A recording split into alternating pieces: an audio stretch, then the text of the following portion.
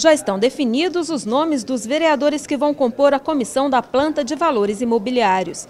Indicados pelas bancadas, eles vão elaborar, junto com outros membros, a nova base para o cálculo dos valores dos imóveis da capital, o que, junto com as alíquotas estabelecidas, define o preço do IPTU e do ITU de Goiânia.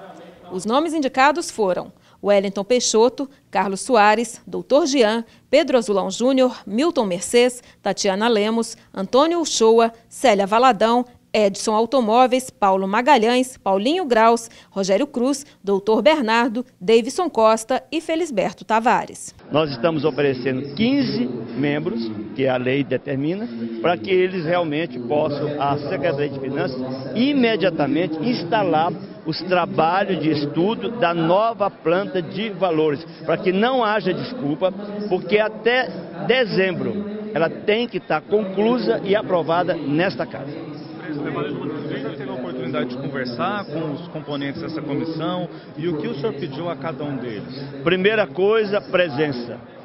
Fundamental a presença de cada um que está aqui.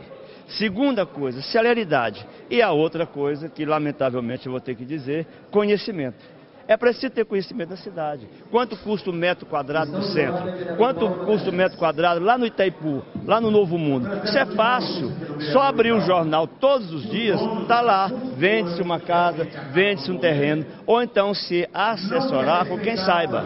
É preciso que essas três exigências é a chave de sucesso da plano de valor. Primeiro, assiduidade. Segundo, conhecimento. E terceiro, ao meu ver, celeridade no processo.